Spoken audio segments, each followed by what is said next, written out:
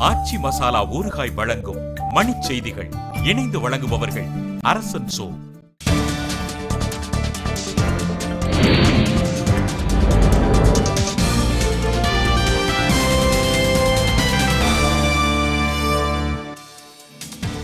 தமிழகம் மற்றும் புதுச்சேரியில் பத்தாம் வகுப்பு பொதுத் தேர்வுகள் இன்று தொடக்கம். பதினோரு லட்சம் மாணவ மாணவிகள் பங்கேற்பு.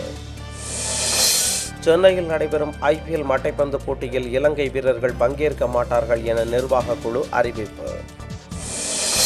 நடுவண் அரசுடன் நடத்திய பேச்சு தோல்வி திட்டமிட்டபடி வேலைநிறுத்தம் நடைபெறும் என சரக்குந்துகள் உரிமையாளர்கள் அறிவிப்பு. கடற்படை வீரர்களை இந்தியாவுக்கு திருப்பி அனுப்பிய விவகாரம் இத்தாலிய வெளியுறவுத்துறை அமைச்சர் பதவி விலகல். தொடர்வண்டிகளில் ஓராண்டு பயணம் செய்வதற்கான பயணச்சீட்டு வரும் ஒன்றாம் தேதி முதல் நடைமுறைக்கு வரும் என தகவல். வழிப்பறி வழக்கில் தேடப்பட்டு வந்த நான்கு குற்றவாளிகள் விழுப்புரம் அருகே கைது நகைகள் மீட்பு. மதுரை தொடர்வண்டி நிலையத்தில் அடுத்த மாதம் முதல் தானியங்கி படிக்கட்டு சேவை தெற்கு தொடர்வண்டித்துறை அறிவிப்பு.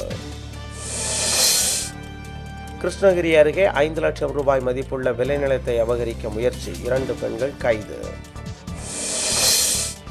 சென்னை ஐபிஎல் மட்டைப்பந்து போட்டிக்கான அனுமதி சீட்டுகள் இன்று விற்பனை. ரசிகர்கள் ஆர்வம். ஆப்கானிஸ்தானில் தற்கொலைப்படை தீவிரவாதிகள் நடத்திய தாக்குதலில் ஐந்து காவலர்கள் உயிரிழப்பு.